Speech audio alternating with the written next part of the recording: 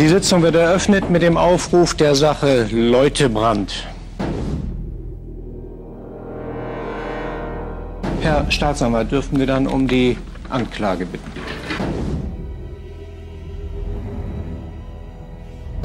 Der Angeschuldigten wird Folgendes zur Last gelegt. Die als Gebäudereinigerin tätige Angeschuldigte suchte am Tattat die Wohnung der alleinstehenden 91-jährigen Frau Erna Dressler in der Nahiriya-Straße auf, um nach Tötung der Wohnungsinhaberin deren Vermögenswerte an sich zu nehmen.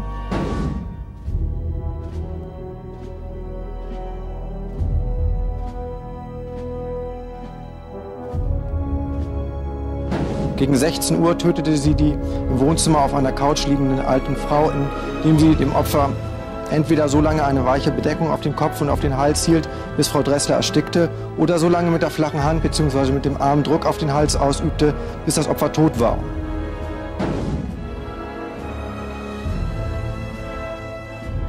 Sodann nahm sie aus einer Schublade eines Schrankes im Wohnzimmer Bargeld in Höhe von 40.000 D-Mark, 23 Goldbarren und 53 Goldmünzen im Wert von ca. 12.000 D-Mark sowie zwei Uhren an sich und verließ hiermit die Wohnung.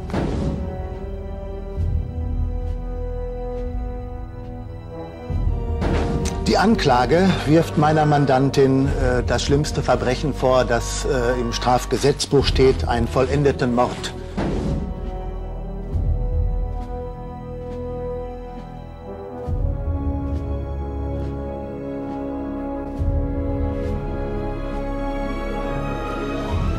Ich weiß nicht, ob Sie sich eigentlich darüber im Klaren sind, was der Herr Vorsitzende am Eingang dieser Vernehmung zu Ihnen gesagt hat, was das äh, Ableisten von falschen Aussagen angeht. Ich will Ihnen das gerne nochmal sagen. Für eine uneidliche falsche Aussage droht Ihnen eine Mindeststrafe von drei Monaten. Wenn Sie hier vereidigt werden, und das behalte ich mir vor, dann droht Ihnen eine Freiheitsstrafe von einem Jahr.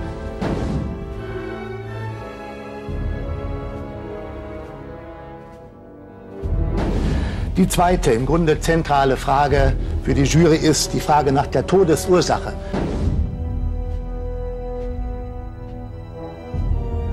Ich war mal zwischenzeitlich ein bisschen abgelenkt gewesen, aber ich würde sagen, sie ist schuldig. Da sprechen so viele Dinge dafür, dass die Frau schuldig ist, äh, als gegensprechen. Was sagst du? Ich denke, dass sie nicht schuldig ist, auch aufgrund der fehlenden Beweislast. Nicht, weil ich persönlich der Meinung bin, dass sie es nicht getan hat, sondern weil ich denke, man kann es ja einfach nicht ausreichend beweisen.